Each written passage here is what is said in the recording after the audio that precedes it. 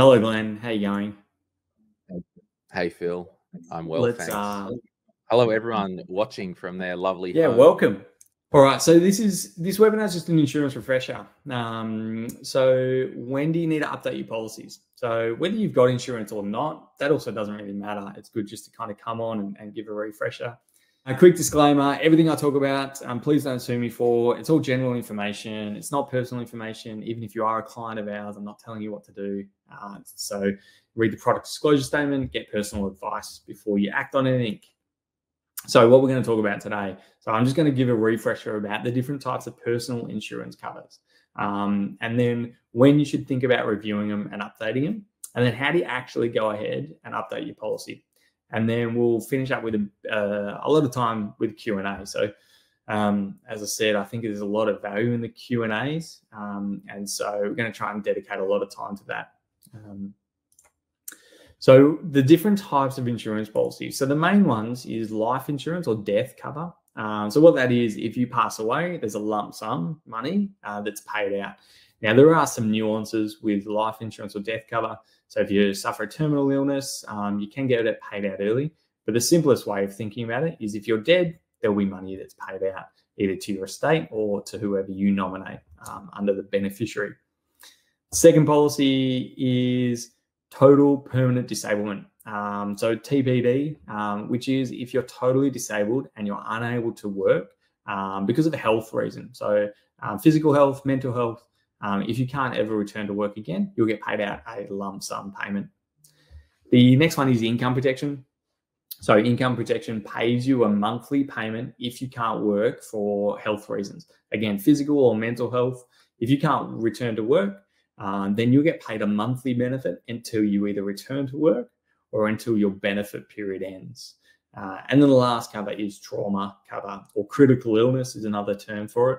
And that's really just um, a lump sum payment, so a once off payment um, that pays out for specific medical events. So the majority of things that pay out on is things like cancers, uh, heart attacks, strokes, but there is a list of 30 plus odd conditions that it can pay out on.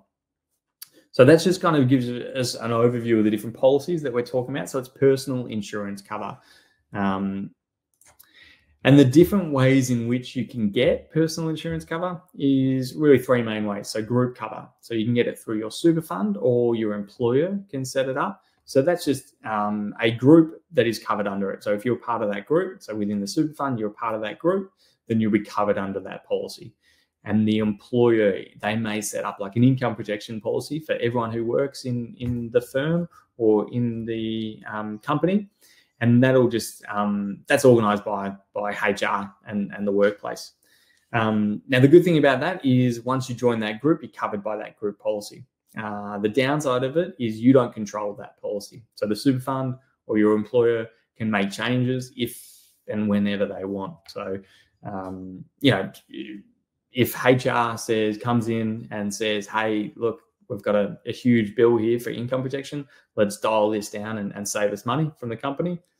Well, then they may change the policy. So they can change the waiting period, they can change the benefit period, and they can just change the policy. Same with super funds; they can do the same thing. Second um, way of getting cover is direct, uh, either through in- insurance companies or intermediaries. Um, now, often they're um, they're easier to get. So you can sign up for it. You can do a medical disclosure um, over the phone or, or online. Um, and often the direct options, they won't um, verify any medical information you've provided them. So they won't go and get a doctor's report to verify it. Um, they will just make sure it's true at the time of claim. So the good thing is it's, it's much easier to set up. The downside is um, if you make a mistake or there's a, there's an issue with your disclosure, um, the you know the retail cover may you know put an exclusion in the policy or they may limit the cover. The direct cover they'll just give you the cover and then at claim time that's when you find out if it's going to pay out or not. And then the third option is retail insurance so through a financial advisor. So you know 75% of the people on this call um, are clients of, of Skye Wealth um, and so we're, we're financial advice business. Um, and so that's retail cover. So the, the benefits um, of retail cover is it's what's called guaranteed renewable. So under the Life Insurance Act, the, the policy can never change on you as long as you keep paying your premiums. Um, and the downside is it's it is much more difficult to get cover. So if you go and you've got any medical concerns um, or, or medical history, the insurance company will do a lot of work investigating that before they'll offer you the cover. They may put exclusions or loadings on the policy because of that health history or family history. Um, so it is uh, a little bit more difficult to um, to set up, uh, a bit more time consuming, um, but you've got a little bit more certainty knowing that hey, what I've got and what the policy covers won't change over time. So if I claim on it in 20 years' time, the policy I signed up for is the same policy. Um, so there's pros and cons of, of each option. So how often should you review the cover? So kind of the, the main topic is about reviewing policies and, and when you need to um, change it. So every single year you should be checking your policy. So premiums can change over time. So even if you've got level premiums, they can change over time. And the level of cover can change depending on the way you've set up the policy. So if you're under a group policy and your employers change the level of cover, that can just happen uh, on renewal. Um, and if you've got um, group cover through your super fund, a lot of super funds they do what's called a unitized cover, which they offer you, you know, five units of the policy, and those units, depending on your age, will change. They can increase, but they can decrease. So often, you know, if you look at your policy, you know, after five years, you may have like half the level of cover you thought you had. Um, so always be reviewing your policy and looking at the premiums and the level of cover every 12 months. Now, the next question is, um, and I get often, I get the question often is, uh, should we move policies around every few years, just you know, similar to car insurance, and go shop it around? So the main difference between like car insurance and personal uh, insurance or life insurance is they're very different, um, like kind of structures and different insurance companies. So they, they've got the same word insurance, but they are very different. So general insurance, which is what's the bucket of like car insurance and home and contents insurance. So that's all called general insurance cover. Now, those policies are very different. So, actually did a bit of um, research today. There's more general insurance companies in Australia that got shut down by the regulator in the last 10 years than there are life insurance companies in Australia today. So, there's heaps more competition in the general insurance market, and the way they're regulated is very different um, because life insurance companies they have to be around for a really long time to come. So they can't just set up shop, give out a whole bunch of policies, and then close up, you know, a few years later, because they've got to guarantee that that claim in the future. The way they assess risk is very different as well. So one thing about like car insurance or home and contents insurance, there's a few data points that's publicly available. So like if you're insuring your car, how old you are, your sex, um, how old the car is. All of those things are pretty easy to identify and assess the risk um, just based on you know the data the insurance companies have. With personal insurance company cover, they're covering the individual. So you know me and my brother, who's two years older than me, our health situation may be completely different. Um, even though we grew up the same way, you know, this from from the same similar data points, but our health health may be completely different. So the risk assessment is much more strict um, when it comes to personal insurance company uh, cover. The next is the contract terms. So general insurance, like car insurance, they can just cancel the policy after 12 months. They don't need to keep offering it. But per, uh, personal insurance or under the Life Insurance Act, they've got to keep offering that cover uh, until you cancel it or you claim on it. Um, and yeah, and the pool of insurance is different. So there's a lot less insurance companies in the life insurance space and heaps more in the general insurance space. So that's why if um, you want to call up your life insurance um, provider and say, hey, I can get a better discount somewhere else. Can you offer us a discount? They, they will just flat out decline.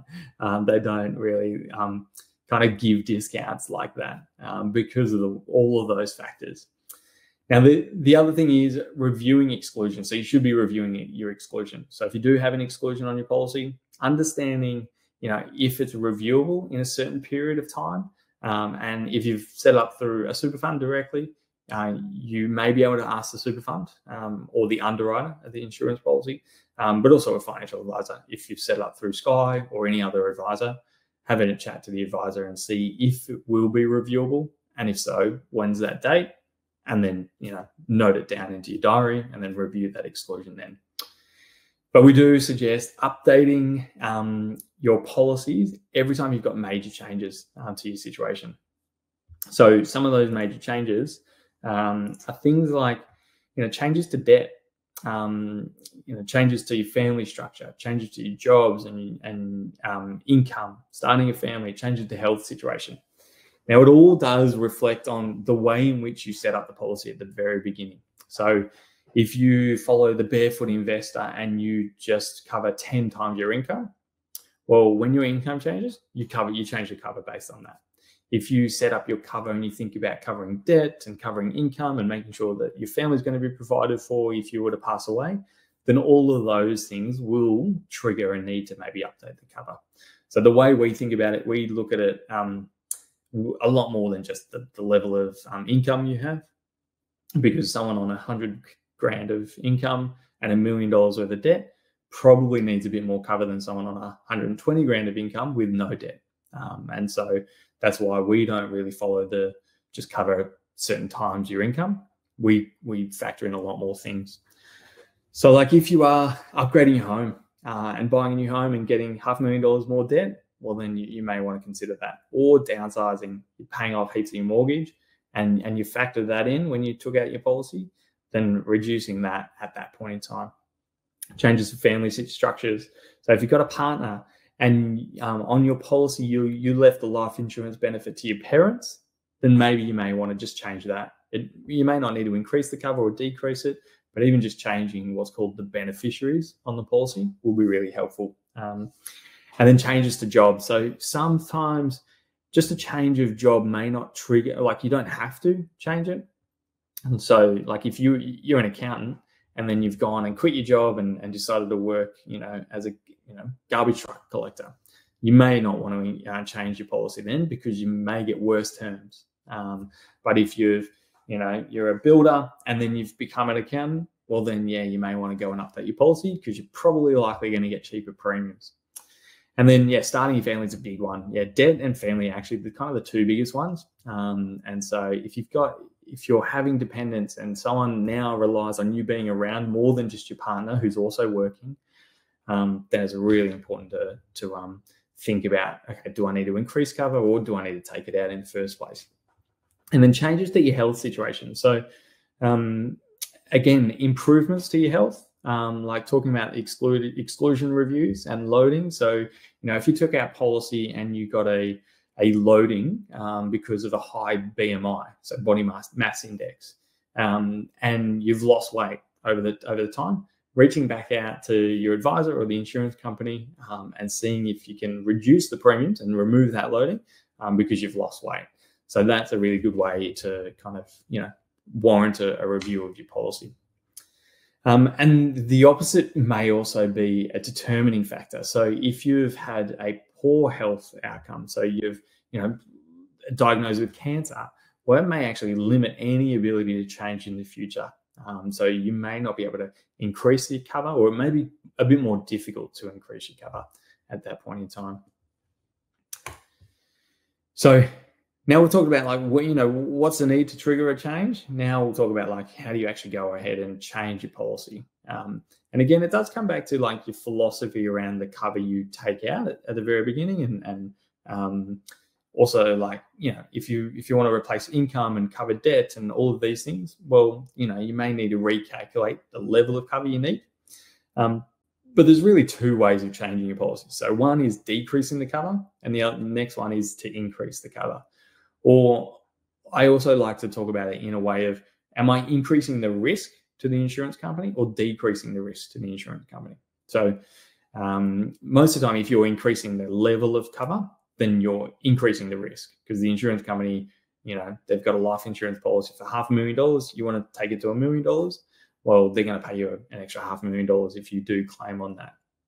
So a decrease of risk or decrease of cover is often really easy. So um, you can often just request this direct to the insurance company or go through your advisor. Um, and you know, as as an advisor, we we may kind of look at okay, do we just need to recalculate it? And you know, if you're wanting to reduce your life insurance policy by half a million dollars because you want to save on premiums, which is a legitimate reason why you may want to do that, maybe let's have a chat about what are some other things that will impact your premiums in a much greater way, but not have such an impact at claim time. Um, so there are ways in which, okay, do we remove features or change benefits um, outside of just the let's look at the big number and reduce that biggest number. And then the the next way to increase or to to go ahead with it is to increase your cover. Now, um, it is uh, difficult to increase your cover. You can move insurance um, uh, providers, um, and there are sometimes good reasons to do that. There are sometimes really good reasons not to do that, um, and really it's all around health. Um, but the the two ways to increase your cover um, is a full application. So it means uh, full underwriting. If you're going back to your same insurance company, you may need to do paper forms, even though when we first set it up, we didn't need to do paper forms, and it drives me mental. But that's the world we live in with insurance. Is um, they often like to talk to you as a new customer, but once you once you've already got your policy, they they don't like you as much. Um, but we, you know, that's a lot of the work we do as at Skye. We we're big believers in holding our policy with the same insurer and just increasing or decreasing if and when needed. Um, but there is a thing for future increases um, or future increase options. So different insurance companies have different um, names for it, but it means that you, you may be able to increase your cover um, for limited or, or, no underwriting. So um, now it's it's limited to often only retail cover. Some direct insurance companies may offer it within the policy. Um, super funds often don't uh, within their contracts. But what that is, is you can increase the cover um, of your policy um, at certain life events.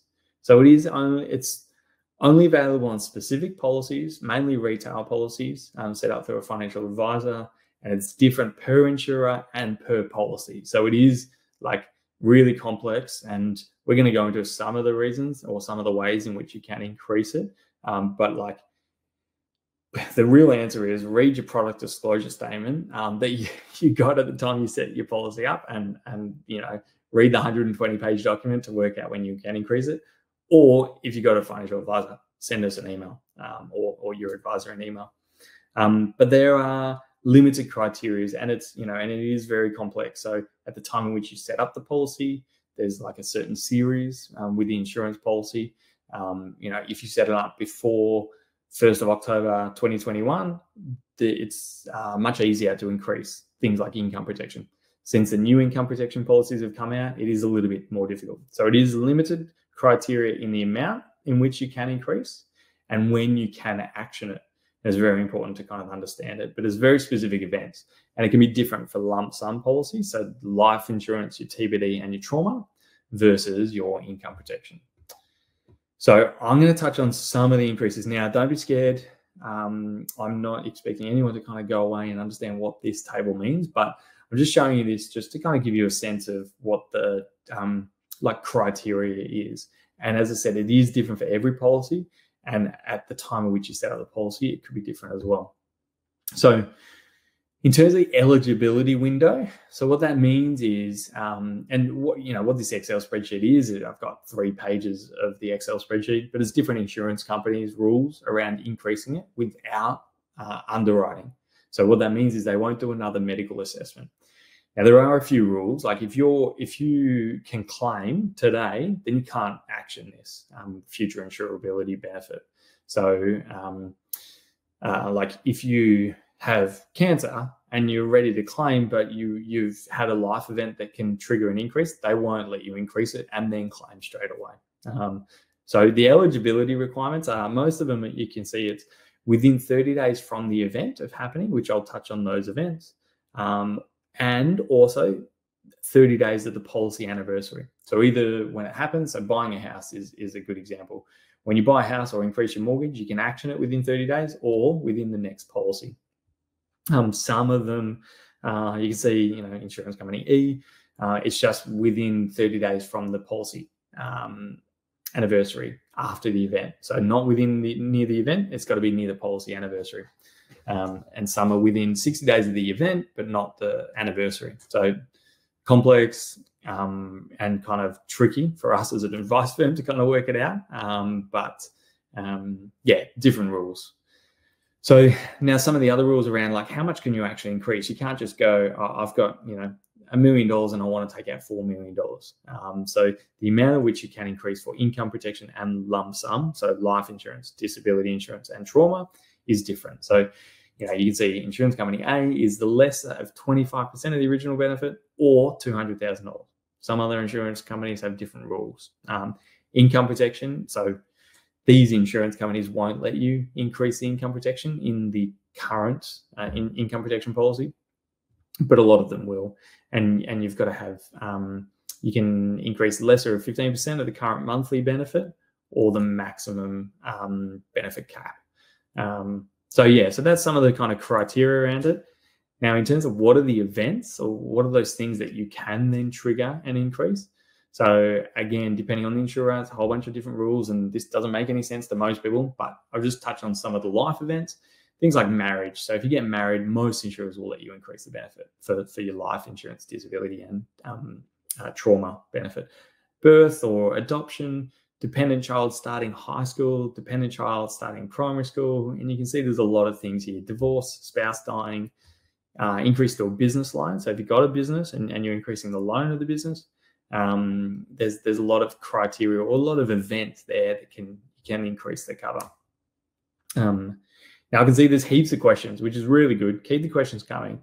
I struggle to multitask, so I'm struggling to kind of like look at the questions, read them out live. So I'm just going to leave everything to the Q and A. So keep your questions coming, and I'll um, we'll do our best to address all the questions. Um, and I will try and hurry up so I get as much Q and A time as possible. Um, and then you can see with income protection now, again, there are with income protection, there's kind of old world income protection and new and today's income protection. Um, so back last year, 2021, um, in October, um, the insurance regulator basically changed heaps of things to do with income protection moving forward. And they said, hey, you can't be as generous with your terms. You've got to make it much harder for people to um, to claim on and to, to adjust. So these requirements are on today's income protections. The old income protections are much more generous, and, and the ability and the events in which you can increase it um, can be a bit easier. Um, but yeah, you can see if your income's increased, then you can potentially um, increase your your cover. In married, divorce, there is one insurance who, insurer who, who offers that. Um, and and yeah, there's a there's a few things. Now, again, the old policies there were a few more triggers. So if you did have an income that um, was 15 up to 15%, then you could trigger that um, income protection. And there's like a whole bunch of eligibility requirements that you can see. Um, but really, this is all about increasing your cover without going through any underwriting.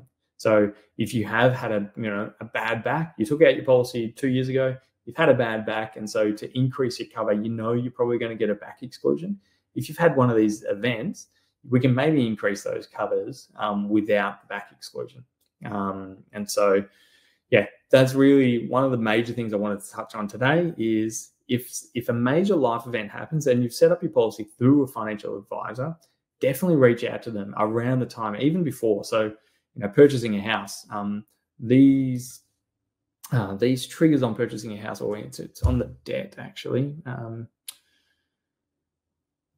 I'm sure everyone's just looking at it going, it's just there, you idiot. But it's somewhere there. But increasing debt is um, it's on the settlement of the debt. So buying a house, you know, you've got a 60 day settlement. You kind of know it's coming up. So reaching out to your advisor saying, hey, increasing the debt, let us know what, what's going on. Um, so it's really important to um, keep your advisor um, in the loop with any life events. And if nothing needs to change, then then we'll let you know, or, or your, your advisor will let you know if there's not much that needs to change with your policy.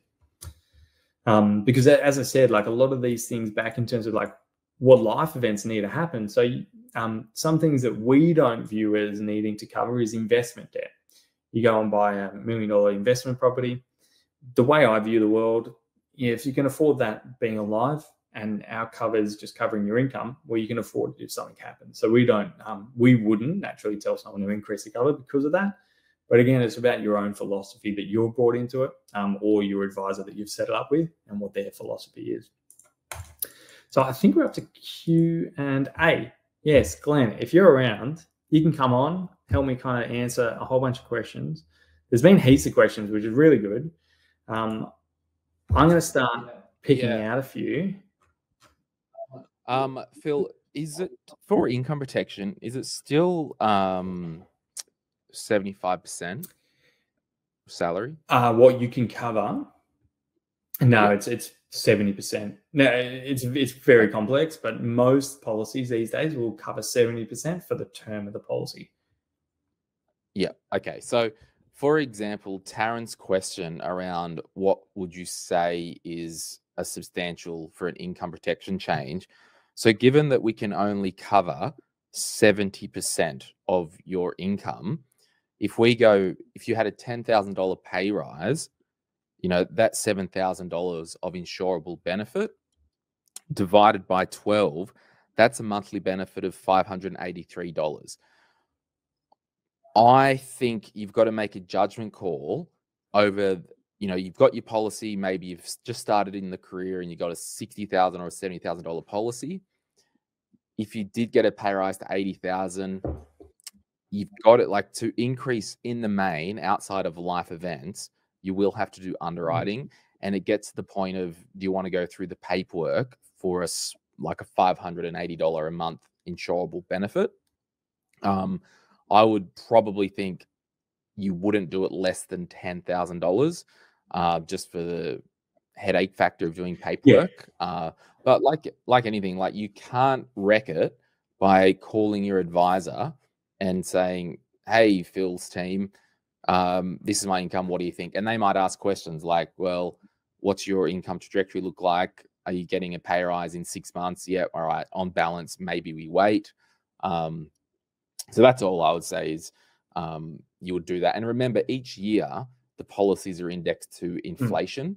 uh, so they'll automatically increase yes. with inflation. And that's and that's what we often will just t- touch on is say, hey, I just want to inform you if we can't do this without underwriting, we sorry, if we have to go through this increase with underwriting, you've got this massive pain in the neck to actually go through this application. You've got to fill out paper application form. So it's totally up to you. We can go ahead. We can help you with this 10 grand um, pay rise increase or, or, five grand, let's say.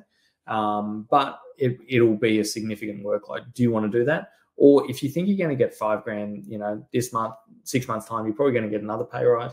Then do we just wait uh, until later? So it's really about reaching out to your advisor, have a chat.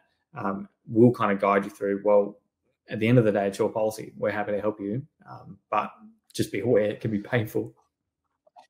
And I just want to touch, uh, for example, I made a note. If someone had a five hundred thousand dollar death policy, for example, and they increase their mortgage and by another 500,000 and the need was there to increase the cover to a million dollars and there were health events, the advisor may recommend a different insurance company that would take you based on your health history at the mm. time if your current insurer won't take that medical condition but you can still hold two different policies with two different insurers and they can both be paid yeah yeah that's right all right there's, a, um, there's so another question a... from Taryn um, is there a normal time frame that exclusions can be reviewed, or is it totally variable? Uh, also, if you ask for a review of an exclusion that doesn't get lifted, is there a chance it can be extended for longer?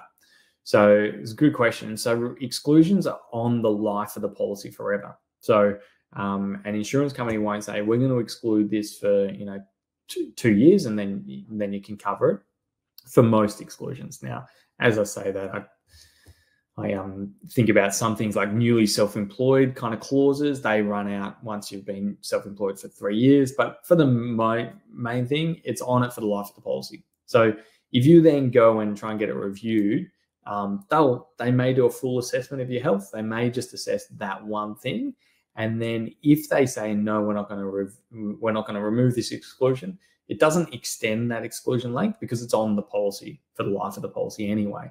So there's no downside doing it. Um, but what we do, and we we kind of just guide people through and go, hey, give us an understanding. Have you had any symptoms or treatments since we took out the policy? The answer is no. Maybe we'll get this across the line. Um, but what we actually do at the very beginning when we set up the policy, we ask the underwriters, is this ever going to be reviewable? Because sometimes it's just not. Um, and the underwriter will let us know that. Mm. Just a, an example on that. Um, you know, not many people smoke like they used to, but a smoker status is theoretically a loading on the policy because you're at a higher risk of health events. Now, my father had all his policies on smoker status, and he then was diagnosed with cancer, uh, was off work, income protection paid, all that, gave up smoking, uh, was a non-smoker for you know a couple of years. Uh, then we went to review the policy, and they, even though he didn't smoke, they kept the loading on the policy because he had had hmm. cancer. Mm. So, you know, sometimes loadings can be removed, excludents can be reviewed. So and it depends on the insurance about, company as well. Some insurance companies, when we right. review an exclusion, they'll just ask questions about that exclusion. Sometimes they'll go. "Hey, we, we we want to reassess the health because if there's an additional risk, we don't want to yeah, we, we, don't want to remove the exclusion for something that's totally unrelated because there's that additional risk." Uh Shall we? Shall we go? There was a question. Yeah, yeah. So there's a question. Um, in what way would children starting school be a reason to change or review policies? So that's it's. You know, you've got to kind of look at this. You know, with that big chart that Phil had, sometimes it's a arms race with insurance companies of adding different policy features, and the rationale could be uh, children starting high school, uh, children starting primary school. Um, uh, parents who may have not been working may then go to work, earn more money, and they might increase the debt. So it is a bit of a, a life change. So that's all it is. It's just a bit of a, a sales arms race gimmick between the insurers. And, and also, if you're spending, if you're doing private school fees, and you, now you're spending ten grand a year on private school fees, yeah. well, your cost of living's gone up, and and therefore, but yeah, a lot of insurers they just put in these benefits to give themselves another mark on the comparison tools, and and so advisors can recommend them. Imogen, how difficult is it to update a beneficiary? Does it have to be done through an advisor? It's very easy and it doesn't have to be done through an advisor. Um, but uh, uh, it's always good to talk with your advisor um, just if you've got any questions. Uh, if the policy is set up in superannuation, uh, you can't just put a beneficiary as your brother or sister because they're not a dependent on you for superannuation purposes. So if you did that, it might not be valid anyway. So it's just a really good um, thing to chat with your advisor about. And there was another policy there. Uh, there was another question there about uh, Michaela. Um, yeah, if you don't have a beneficiary, actually, this is a very good question, isn't mm. it, Phil? So whoever owns a death policy receives the benefit unless there is a beneficiary. So outside of superannuation, if you self owned a death policy and there wasn't a beneficiary, it would go to you, which is your hmm. estate. Mm. Inside superannuation, the insurance trustee, the superannuation owns the policy for your benefit. Now, if you died without a beneficiary, it would be paid out at, at the discretion of the trustee. So they would say there's no beneficiaries on this. Please submit your claims. Let us get as much information as possible. That's why in superannuation, it's so important to have a beneficiary. Um, if it's a binding beneficiary, you've had two witnesses sign this, and the, the trustee has no discretion mm. at all. They've just got to pay. Yeah, I mean, mo- most of the times that, that when that happens, they're not just going to oh Joe Joe Blow asked for this money, yeah, we'll give it to him. Most of the time, they just send it to the estate because it's just easier to manage it that way. Like the trustee of the of the super fund doesn't want to get into any headache. Yeah, I had a couple. Yeah, I had a couple that were death claims without a beneficiary, and um, we just had to do a stat deck. Um, the two kids did a stat deck and say we've got no claim for this. Um, it can be paid to mum mm. direct. Um, so the trustee just has to do the ticks and uh, check and, the, and, the, and for me, benefit of that is just to bypass the estate, so they don't need to go through probate yeah. and, and everything. Because because that's the best thing about um, insurance policies is they can just skip the estate. You don't need to go waste your time going through an estate. You know, getting you know yeah. all of that stuff. You can just get paid out straight to whoever you nominate. But someone like me, single, no kids, me, yeah, get cover in super. You've, put, you've put me on, yeah. Yeah, Phil uh, Phil Thompson, a big fat zero percent, um, and hundred percent goes to my estate. So on purpose, I've chosen my estate. So then the benefit can be distributed as per my will. Yeah, Uh, but But I, I just also- can I finish on one thing? Also, Yeah. the reason you've done that is because from a from a superannuation law point of view, you probably don't have a financial dependent to pay that out to. So it has to go to your estate. No, I don't. So yeah, you can't Yeah. you can't have a policy owned through your super fund and then pay it out to you know the you know Dolphin Society. Um, Yeah, or my brother or yeah, sister. because it, it can't be paid out. Uh, and just for those with kids, uh, and the reason I'm camping on this a little bit, um, I'll keep it very vague. I'm kind of remotely helping a situation at the moment. People in my world, um, husband died, there were kids and a spouse with a mortgage. In his wisdom, and at the time, I don't know what he was thinking or if I don't know why the advisor suggested it, but whatever he put his two kids as the beneficiary of his life insurance in super. The problem is he died prematurely in his 30s, and now the money has to go on trust for the kids, which is awesome. But the problem is the widow is still left with Yeah, a didn't mortgage get, didn't get the money. and has to go back to Mm. work. Like just the most heartbreaking thing in the world. So that's why it's always good just to go back to your advisor. And if there are kids or different marriages, you can actually set up maybe two policies in super and have one policy be paid to the kids and one to the surviving spouse. So plenty of options for Yeah, and you can, you can do a percentage basis. So you can just say, you know, I want I want twenty eight percent paid to this person. I want you know thirty three percent paid to this person. So let's Right. go. What happens if you? So Adam asked, what happens if you don't disclose a pos- possible exclusion and later down the track you need a claim on it, and something is found out that you didn't disclose something? Do they pay you out? Is there a fine? Ooh, scandal. The scandal police come and they arrest you. So the answer is if you don't disclose and and um, depending on when your policy is set up, and it's and it's unreasonable that you didn't know about it. So if something happened when you were two, you know, you didn't really know about it, and then it came out at claim time. Well, is it reasonable that you knew that? Well, you were two, probably not. Um, but if you've intentionally not disclosed, and then there was a claim for that thing, the insurance company they won't fine you; they just won't pay you your claim. I, I will add to that. Um, what can happen sometimes if you would just so if you and I'll be really dramatic, right? I had cancer two years ago. Tomorrow I went and got some policy, didn't tell them about the cancer, they issued the cover. Then I died from cancer two years later. That's a straight up, we're not Mm. paying, non disclosure. Now, if there was something like blood pressure that you knew about, or a BMI thing that you knew about and you didn't disclose, what they can do, and it again, each insurance company is different, and this is why disclosure is so important. They can calculate based on that information at the time, we would have actually charged you more. So we're going to hold back some of that premium from the claim and still get some money. So Yeah, it's, well, I mean, it's actually it's, Again, actually, it's calculated at a worse at, at a much worse outcome. They would say, you know, your policy was hundred dollars, but with that loading, it would be one hundred and fifty dollars.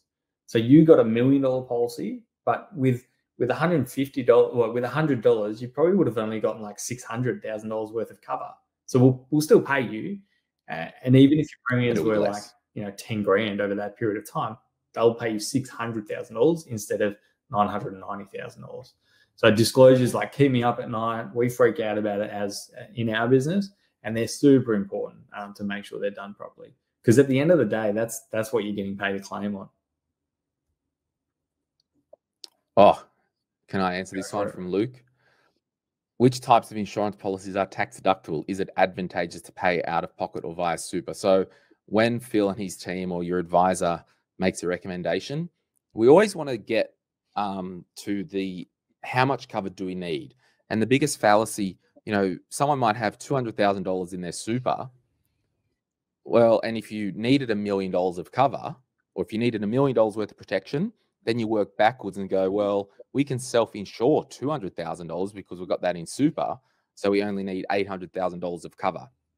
Once we get to a talking point of the amounts of cover, then we look at structuring for tax, estate planning, and maybe if you're just starting out wanting to save money and you've got a young family and all that, you may put some um, cover in superannuation just to assist with cash flow in the early years while you're getting established.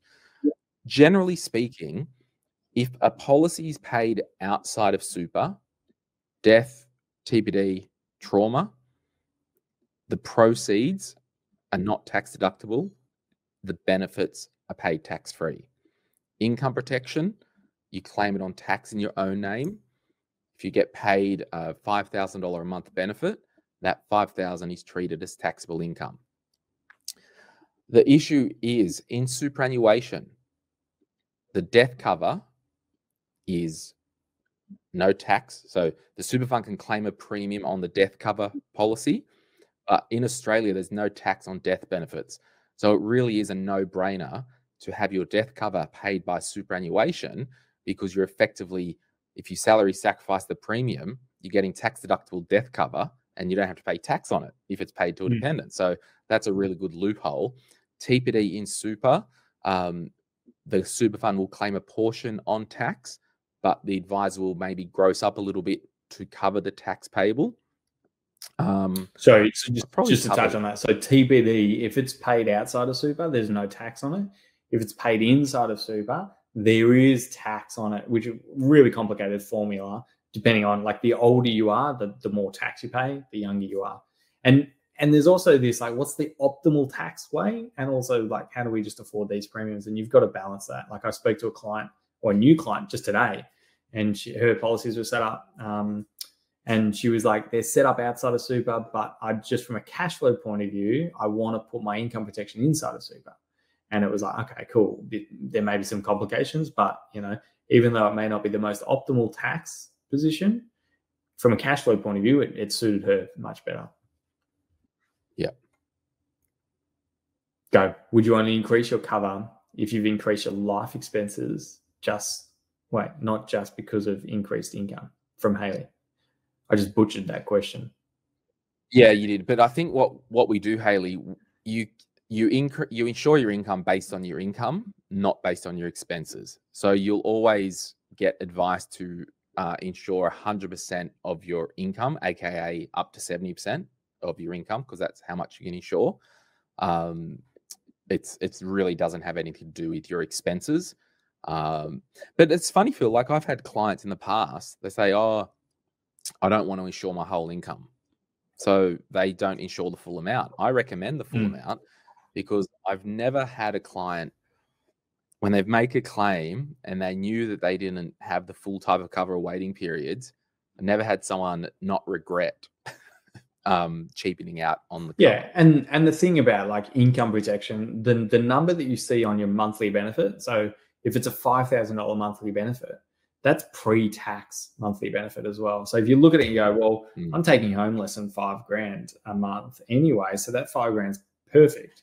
Well, once you factor in the tax you're paying, you're only going to get like three and a half grand into your bank account. Um, and so mm. you just got to also understand that there is tax on that income protection benefit. If you ditch death cover, does this have implications should you want to get death cover in the future? I.e., will it be harder to get? Okay, so Phil, we can answer this by just deleting death cover and say if you ditch any insurance now, is it harder to get cover in the future? It's the same as asking if I don't have any cover now, is it harder in the future? Mm. Well, it's always going to be more expensive. Yeah. Because you're age. Yeah, that's right. I mean, the death cover is an interesting one because a lot of people think, oh, I'll take the others because I'm alive. But if I don't have kids or, de- or dependents or debt, do I need death cover? Let's just remove that. Um, and so, like, it is interesting that, and also death cover is the easiest one to get. So, just if we blanket it and say, if I ditch insurance today because I'm young, healthy, all good in the hood, is it going to be harder to get in the future? The answer is well, maybe it's going to be more expensive, definitely, um, and maybe harder if you've got health issues. Um, but just in terms of Dan, I, I wonder if your question is um, if we just got income protection, TPD, and trauma, and then adding death cover later, is that going to be hard? Um, sometimes it actually just doesn't make sense from a pricing point of view. a lot of insurers will just throw in death cover for free. It's like, yeah. So there's a there's a trick. Um, for example, trauma cover. Right in Australia, you don't pay stamp duty on death cover. Now, if you took a standalone trauma or TPD cover out, it will have stamp duty attached to it. Um, now, if you link death cover to that, you don't pay the stamp duty because it's a death policy, and also you get internal discounting with the insurance company. I've got two mil of TPD cover and death cover. I do not need two mil of death mm. cover. I'm single and young and well, pretty. I'm a bit of a fossil yeah. now. Um, I've got young, using that generously, but yeah. Um, but for me, I know in the future I'll need um, death cover when I have a family. Um, I I'm actually uninsurable right now. Too many health issues, but I know that I've got death cover. It's future proofed. And hey, if I did die tomorrow, well, the family's going to have um, a big party. That's for sure. And often, often we price it. Every every insurance proposal we do, we look at even if we don't think you need life insurance, we we price it with life insurance and without, and often it can be cheaper with it. Oh, whoops! I accidentally um, clicked laws and then unclicked you it. Are new medical conditions an issue when updating existing policies? E.g., if income level increases, but you have a new medical condition that hasn't occurred. Okay, so that's similar, Phil, to what I talked about about you've had the death policy, you wanted to increase it in the future, you've got a medical event, that increased cover will be assessed at current mm. terms but they can't take away the existing yeah, cover. That, that's right. If you, if you apply for it properly, if you go and if you go and look for a whole new other insurance company and you cancel your existing one and and get the new policy with a new insurer, they'll put the exclusion on everything. So that's why uh, you know in in the presentation I was saying we're big believers in picking the insurance properly, picking the insurance company properly at the very beginning and increasing or decreasing if you need to. So that's why, like, also if you need to decrease your cover, just think about it. Okay, will I need this in the next few years? Like, sure, I'm going to save money this year, next year, the year after. But if I'm going to have to increase it and I have a health issue, there can be some issues. And, you know, no one knows what the future is going to look like, but it's always just being, you know, informed and understanding the nuances of it. I, my own income protection policy, the first policy that I took out, um, oh gosh, I would have been 25. So it would have been in 2010 it's got uh, a 30 day waiting period to age 65, and we'll just call it $5,000 a month benefit. I've got, I think, three other types. I've got three other slots of cover mm. on my income insurance when I've increased the cover. So they've left the base one there. The next one I've added, and they're like, yep, you've got a mental health loading. Um, and then I'm like, Exclusion. well, ex- exclusion, sorry, um, mental health exclusion. Well, I'll I'll put I'll put the additional bit to the policy on a 90 day mm. wait. Um, so yeah, I've kind of got a bit of a mixture that, you know, because this is the thing, Phil, like your income protection, it's for long term or permanent mm. disability. Mm. Most claims, you're back to work within the three month period. And that's why having an emergency fund of three months worth of expenses, if you did push your income protection to a 90 day waiting period, you just self insure that first three yeah. months.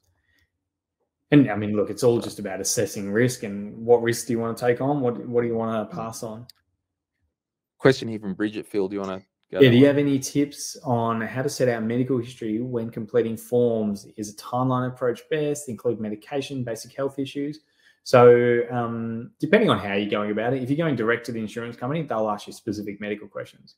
The way we work in in our business, so we um, give every every client has to fill in a massive online form, and we call it a really, really, really long and boring online form, um, which we ask heaps of questions. Um, and we just ask for a lot of detail. The more detail, the better for us, because as advisors, we'll say, "Hey, when you stubbed your toe three years ago, that actually isn't an issue, but thanks for telling us." Um, instead of getting all the way to the end and going, oh, hey, you just went on a mental health care plan, you know, six months ago and you didn't tell us, you know, now we're going to get a mental health exclusion. Um, so yeah, if you're yeah. working with an advisor who's asking you heaps of questions, they'll kind of guide you in kind of how to articulate. and and you really just want to like do it so you know a reasonable person would expect to remember about their own personal health uh, if you take vitamins not a big deal um, like you don't want to get into the trap of over disclosing uh, because they are like yeah and a, good advisor will coach you through if in doubt just ask Yeah. So my husband is a construction worker, but will transition a more supervised role off the tools, some office work, but still considered blue collar as he will be required to be on site. Is it worth updating his role with the insurer? Can this affect the premiums with a decrease? i'm going to have a run at that with the insurer and build a case that he's technically not on the tools Yeah, and and in insurance companies, the way they articulate occupations, it's not like a blue collar, white collar. If you kind of touch on one, you're definitely you're in that bucket. There's there's a lot of different categories that go up the scale and down the scale in terms of the risk assessment. Mm. So yeah, and reach out to your advisor if we set up the policy for you and, and your partner, Danny, and reach out to us and we'll just get questions about what is, what are the duties, what you know, because if he's on site like five percent of the time, that's a big impact. As in that will get us a better outcome. If he's on site fifty percent of the time, then okay, maybe there's no change to the occupation rating. Yeah, I think what it- just on that, I'll try and draw it really poorly. Um, if this is um, best, can you Yeah, see yeah, that? we'll. And this is the worst. So here is basically you're a coal miner, underground, really high risk, or truck driver. That's like not insurable. Here might be like bricklayer, you know, really manual. Um, he might be um, a builder. He might be um, hairdresser. He might be office manager and admin. He might be professional or doctor or something like that. So there's probably what six or seven categories Yeah. of um, occupations with each insurer, and and basically most of them are like AAA, um, B, C, D, and then you know whatever. So Uninsurable.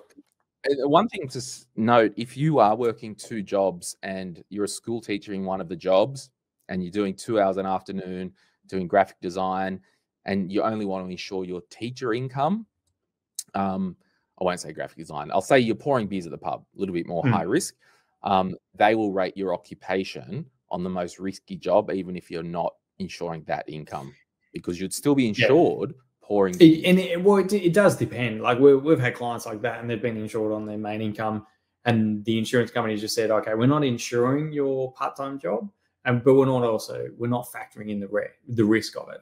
And so when we talk about occupations and that that rating, it's not it's not necessarily like how risky is it at work. It's more how likely is it for you to return to work. So D- Danielle, like your your your partner being construction worker, even if his 10% of the job is is out on site, if he can't go to work because he's in a wheelchair and then he just can't do his job because 10% is required to be on site, that also is an impact on the the premiums Mhm. and the and the occupation rating. So Josh, Oh, this is a good one. Not enough cover, canceling abruptly. Okay. I honestly, I've, I've mentioned this before, and I'll repeat it just in case no one can see it. Can you advise the most common mistakes people make regarding insurance? Not enough cover, canceling abruptly, and examples you can provide. A couple of things. Every claim that I've had on a 90 day waiting period, regardless of the financial situation, the first thing clients ask is, is it too late to change it to a mm. 30 day? Because, you know, yes, it is too late. Um, you shouldn't have been a tired ass when you took the policy out. No, joking. Um, but yeah, once a claim event happens, it's too late to change the policy. Um, not enough cover. The biggest mistake is assuming that you're protected or not even thinking about it.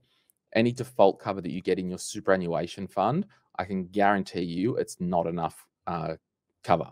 It's like if you've got a family, if you've got debt, any default cover in a superannuation fund 100% will not be enough for what you Mm. need.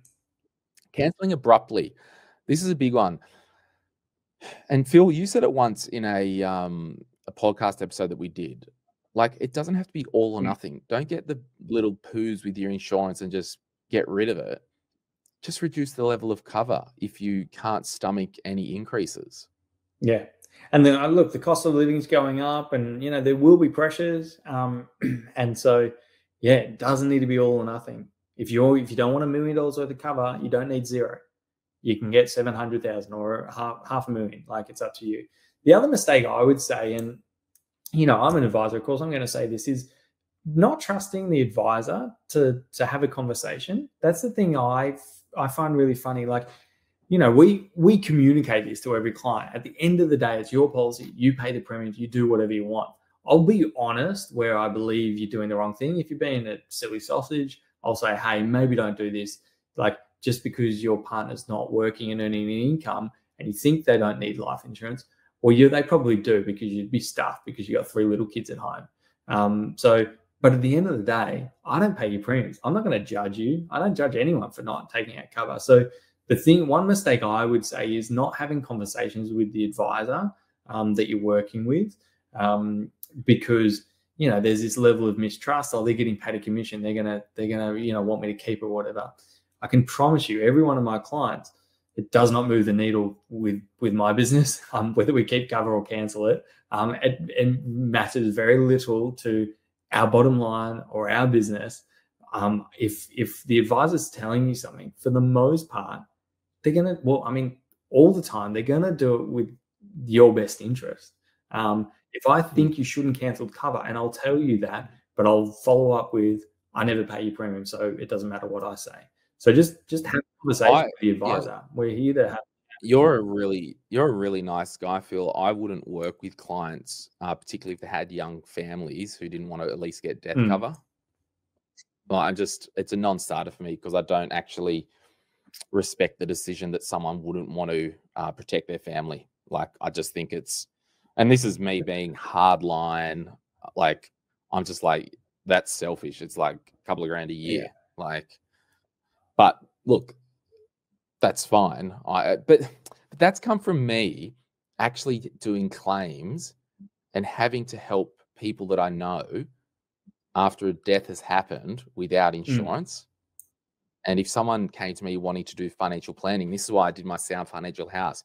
Insurance first, emergency fund, wills and estate.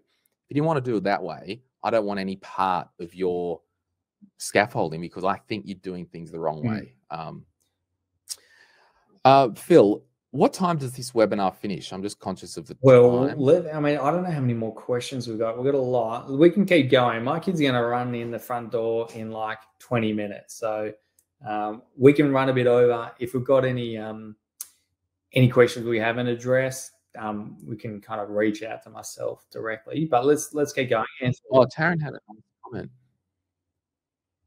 Taryn's a client of yours, Phil, of Skye. amazing outcome. I Amazing can my husband.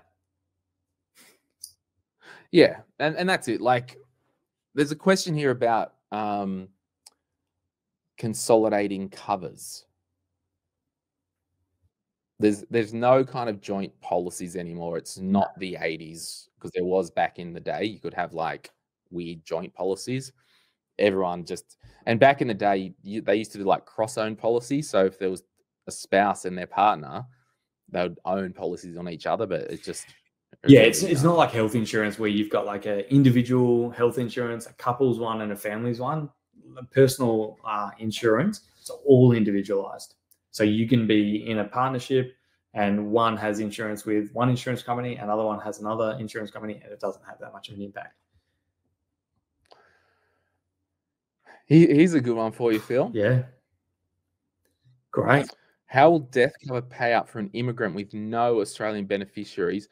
Well, generally, the trustee will do the best thing possible in trying to track down um, a de- dependent or a, an estate heir or Mm. something. It's it really is up to the discretion. It's a good question. I mean, look, my answer is I'm not a lawyer um, and I don't do estate planning law. So um, don't know the actual mechanisms um, with it, but I would just make sure um, you've got a you've got a will set up and and the the money, the beneficiary is your estate.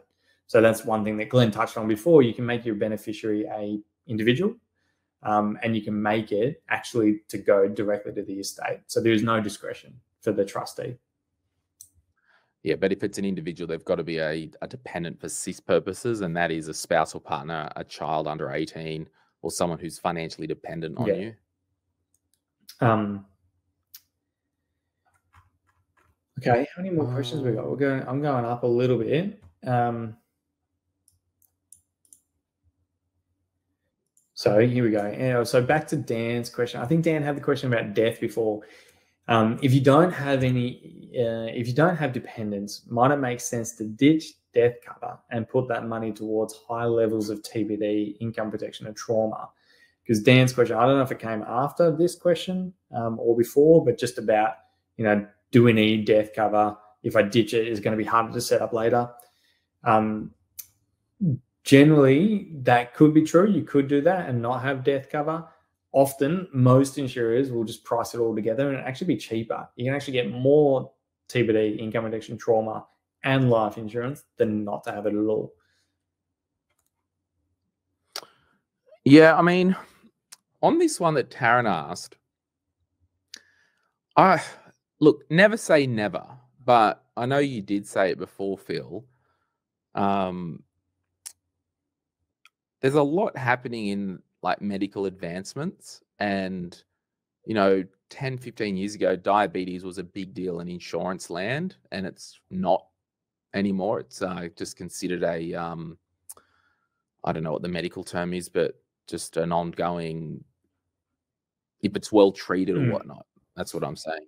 Um, I, you just really this comes down to understanding in your head the risk that i'm taking this policy with an hmm. exclusion. Mm. Now, I've got a right ankle exclusion on my policy. If I was in a car accident and a bus hit my car and my right ankle got crushed because of the accident and I couldn't walk ever again, the insurance company would likely pay that out because it would have happened to anyone. It wasn't because I was lifting a fridge on the weekend and I hurt my ankle that way. So I think it's just being aware of what your policy is and keeping in uh, constant contact with your advisor every couple of years, and life happens, right? But please come up to air at least every couple of years to, with your advisor, and they'll have notes on the system about the exclusions or loadings, and you know, yeah, it's just it's an ongoing. Thing. Yeah, so I mean, and exclusions they're pretty rare to be non-reviewable. Like um, you know, things like scoliosis will sometimes be if you've got scoliosis, you get a back exclusion because it's quite severe. Insurers will say, look, it's probably not reviewable. Um, but that's that's the you know the exception and not the rule. Most times, underwriters, you know, sometimes they say, hey, we can't give you an indication um, when it's reviewable. Sometimes I'll say, hey, yeah, we can clearly see this is the last symptom of treatment three years ago, so give us another two more years. Um, but it's pretty rare that it's non-reviewable. Um, but that said, they're not going to just magically get rid of it all the time. Um, and so, yeah, definitely reach out, um, Taryn. I know um, you're a client of ours, so yeah, reach out. We can have a chat. Um, all right, cool. We've got a question from Paul. Go, Glenn. There was a big, there was a big jump in my premiums from last year to this year is this typical or is this a particularly bad year for yeah. Look the whole life insurance income insurance industry has just gone through a huge overhaul in the last few years in australia with rock bottom interest rates and really good policies. Insurance companies were paying out more than what they were earning off the premiums and to make it sustainable they've had to increase premiums. I suspect that that's going to start to settle down now that the new policies aren't as easy to claim on. And look, if you can't work and you're legitimately ill or injured and you've got a policy, you will be able to make a claim. It's some of these policies that, you know, and I know of companies that they've had self employed people on claim and the policies were that good, they could cook the books and dodgy it up, and they co- couldn't get the people off claim because one of the policy definitions was around earnings in the business. So all that's kind of changing now. Um, so I think over the you know the coming years, income protection pricing will really settle down. Yeah, and I mean, yeah, just to wrap some some numbers. At the end of the day, insurance is about is, is a business. Um, the and look at it as a bank account. When there's a bank account, everyone who's insured puts that money into the bank account. When you need to claim, pull the money out of the bank account.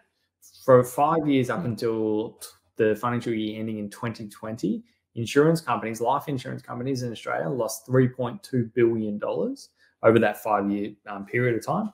Most of that was on income protection. Now, the last two financial years, um, since then, they've they've made a profit, not a big profit, a small profit. Um, but the other thing to note, yeah, as Glenn said, is the money that goes into that bank account is premiums, but also the money that goes into that bank account is investment returns.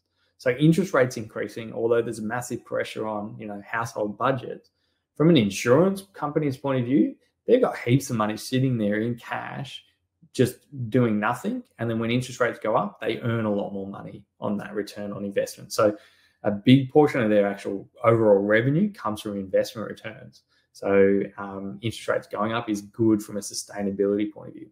Now, will we see increases moving forward? It won't. I can, I mean, never say never, but I can almost guarantee it won't be what it was over the last three years because that was crazy increases.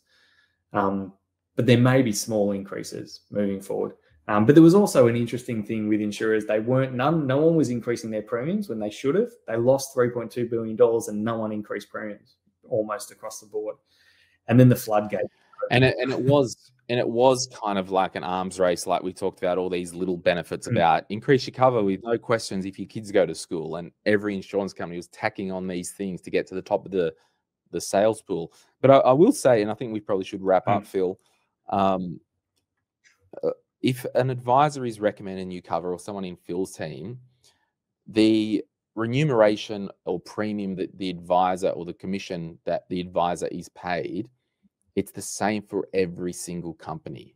It's mandated. So an advisor won't put you with an insurer because they're getting paid more. That's rubbish and it's just a myth that's not fact. So you've got confidence that um, they're really acting in your best interest.